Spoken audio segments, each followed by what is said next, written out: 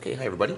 For this question right here, we're told that a pendulum swings through an arc of 45 degrees. Now, if I'm going to be using my my uh, arc length formula here, this this theta equals AR, I know right away here that that's got to be converted into into uh, radians here. So my theta here at 45 degrees, okay, uh, is going to end up being pi over 4 radians. That's a pretty standard one, so that's that's pretty easy.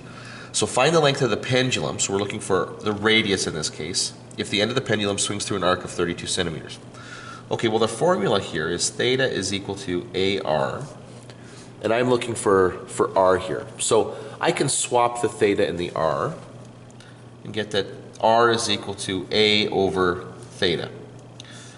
Actually, this becomes a, a fairly easy little, little substitution here. This is going to be 32 divided by pi over 4 Okay, and I might go to my calculator here because I'm going to get a pi in there. So let's let the calculator handle that.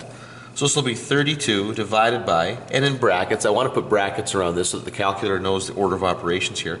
Pi divided by 4. I'm going to get 40.7. So the radius here is 40.7. Oh, and it says to the nearest centimeter. So it's approximately that, and actually we can do a little bit better then because it says to the nearest centimeter, so this will be approximately 41 centimeters.